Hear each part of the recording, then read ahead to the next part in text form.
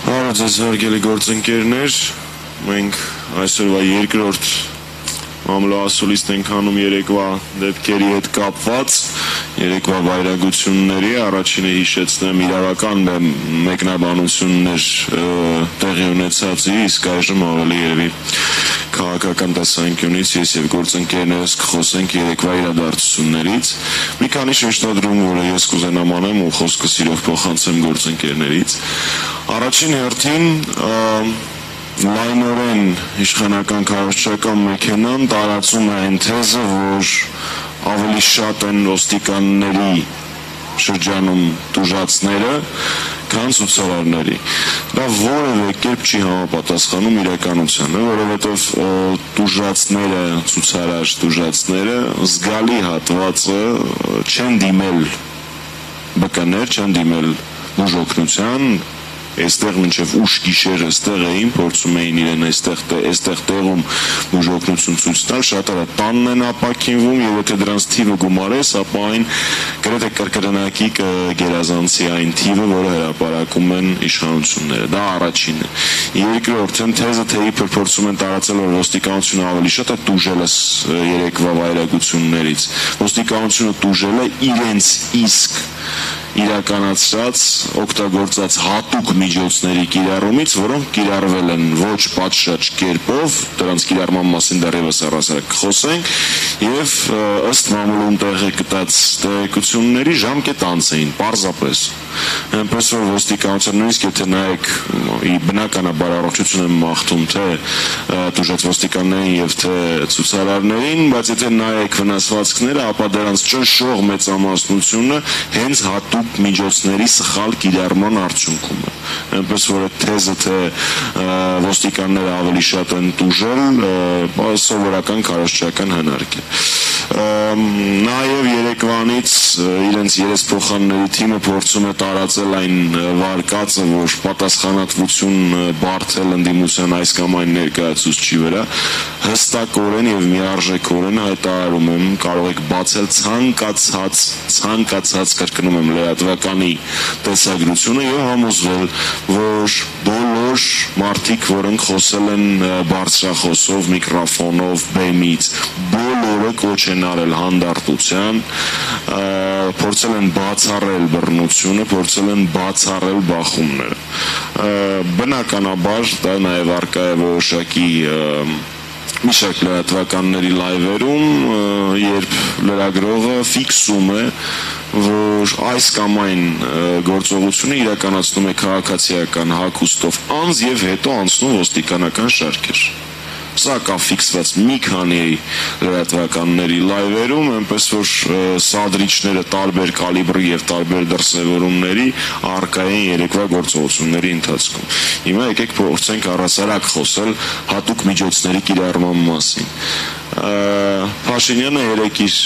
նյարդային դրսևորումների գագաթնակետին հասավ եւ բացարձական հիմն հրաման տվեց կիրառելու հատուկ միջոցներ այս մի բանն էլ Հայաստանում եղավ, ընդ որում հիշեցնեմ, այդ մի քիչ պիտի բարոյականության ժանրից էլ դիտարկես, էլի 1 տարի առաջ երկու տարի առաջ պատերազմ տեսած երկրում կիրառես հատուկ միջոց լուսաձայնային նռնակ սվիրել կոչվածը դա մի տեսակ բացի օրենքի հետ խնդիր ունի, նաև բարոյականության հետ խնդիր ունի, եւ ցուցարարների մեջ պատերազմի մասնակիցներ են, բայց դե բարոյականություն ակնկալ ակնկալել այժմյան քաղաքական իշխանություններից անիմաստ է։ Այնպես որ սա եւս մեկ կարմիր գիծ էր, որը Փաշինյանը անցավ հատուկ միջոցների կիրառում ժողովրդի դեմ, սեփական ժողովրդի դեմ, բայց շատ կարևոր եմ համարում մի արձանագրում։ Եվ սա իրար իրար մեջ խոսում են նաև ոստիկանական համակարգի ներկայացուցիչները այսպիսի ժողովուրդ չի լինում ուղակի չի լինում այսպիսի ցուցարար չի լինում որ կիրառվի լուսաձայնային նռնակ կիրառվի սվիրել ու գրեթե ոչ մեկ տեղից չշարժվի այս է ցուցիչը մեր ազգի այս է ցուցիչը մեր ցուցարարների մեր պայքարի ընկերների գրեթե որևէ մեկը տեղից չի շարժվել հատուկ միջոցի կիրառման ժամանակ սպեսի բան շատ քիչ ամբողջ աշխարհում շատ քիչ տեղեր եմ տեսել եւ սա արձանագրում է որ անհրաժեշտ է անել Նաև ավարտելով ես շատ կուզենամ կարևորել այն թեզը, որը իրենք փորձում են շրջանառել, թե ունեն աջակցությունը արևմտյան երկրների դեսպանատների եւ այլն եւ այլն։ Նախ ըստ որոշ մամուլում տեղ գտած տեղեկությունների Երևանից հետո, այսպես ասած, վերջին չինական զգուշացումն է ստացել Փաշինյանի ռեժիմը, որ միջազգային կառույցները, արևմտյան երկրների դեսպանատները այլևս չեն հանդուրժելու այն ամենը ժողովրդավարության հետ կապված ինչ տեղի ունենում Հայաստանում, սա ընդհանրապես ներկայացնում եմ մամուլում շրջանառվող տեղեկություն եւ ամենակարևորը խնդրում եմ մեր հայրենակիցներին, որ պարզապես մտածեն ասածներից մասին հետեւալ մտքի շուրջ։ Պարզ է, չէ՞, որ արևմտյան կառույցների, միջազգային կառույցների, արևմտյան երկրների լռությունը, հանցավոր լռությունը խաղաղ ցուցարարների դեմ իրականացվող վայրագությունների հետ կապված արժեք ունի, գին ունի։ Անհրաժեշտ է բացեն փակագծերը, թե որտեղ է վճարվում, որ բանակցության ժամանակ է վճարվում այդ գինը որտեղ է ինքը խելոք հնու հնահլու հնազանդ կատարում ոչ հայկական օրակարգով պարտադրված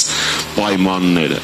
ես ունեմ հիմնավոր կասկած մտածելու որ որպեսզի չստանա հանդիմանող հայտարարություններ այս կամ այն միջազգային կառույցից Փաշինյանը զոհում է Ղարաբաղյան հակամարտության շուրջ բանակցությունների ընթացքում այս կամ այն կետերը, որովհետև դա անմտություն է լինելով միջազգային այսպիսի խոշոր բանակցության մեջ ակտիվ փուլում նման խոցելիություն ստեղծել երկրի համար իրականացնել նման հակաժողովրդավարական գործողություններ եւ այսինքն վամփոփելով որպես վերջին թեզ իմ համեստ կարծիքով արևմտյան դեսպանատների, որոշ դեսպանատների եւ որոշ միջազգային կառույցների լռությունը վճարվում է ճակերտների մեջ Ղարաբաղյան հակամարտության բանակցային գործընթացում Փաշինյանի կողմից ել առավել պարտվողական եւ զիջողական դիրքով